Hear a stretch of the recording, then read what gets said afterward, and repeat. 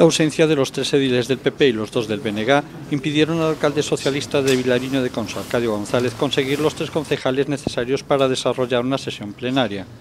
En la sesión iba a informar del próximo entroido, un festejo popular en el que nunca se mezcló la política, según apuntó el regidor. Populares y nacionalistas coincidieron al justificar su ausencia en que los dos miembros del equipo de gobierno del PSOE no contaron con la oposición para organizarlo. Arcadio, que como juzga a actitude do, do PP do, do Bloque, a, ausen, a súa ausencia no Pleno? Resultame difícil de explicar, porque os temas que hai, os puntos que hai na orden do día son do máis eh, sencillo, eh, apro aprobación, apoio á candidatura do Torre de Hércules, información sobre a organización do Carnaval, unha serie de resolucións e incluso unhas mocións que presenta o BNG que non se presentou o sábado a defendelas e hoxe tampouco. Esta coincidencia é sorprendente se fose por algún motivo relacionado co carnaval ou cousa por o estilo, dado que hai, non hai unha maioría eh, no goberno, a maioría absoluta, sería a primeira vez que se dá o caso de que, mm, de que non se respeta os carnavais, os carnavales como tal, o entrudio que lle chamamos aquí.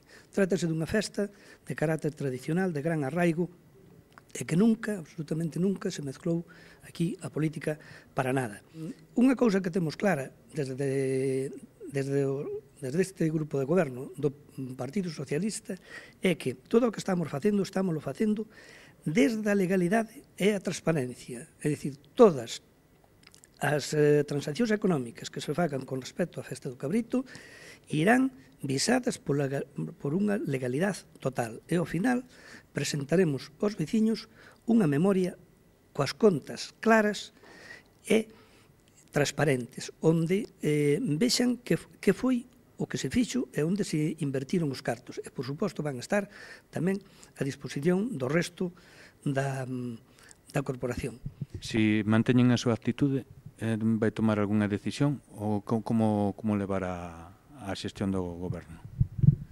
A xestión do goberno trataremosla de sacar adiante co, polos medios que sea. Nos estamos dispostos e abertos a todo, a todo tipo de diálogo, a dar explicacións de todo o que facemos, porque non ocultamos nada. Xa o dixen antes que nesta tempada que levamos en minoría, todos os pagos que se levan realizado, todos todas as transaccións económicas que leva habido todas as actuacións cinguindo a estrita legalidade. É un exemplo deso vai ser precisamente a organización do Carnaval. A partir do próximo lunes empezaremos a rendir contas claras cos ciudadanos, con toda a ciudadanía.